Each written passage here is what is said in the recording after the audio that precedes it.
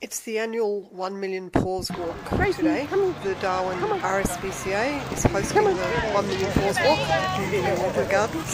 Lots of dogs, lots of human companions, lots of fun.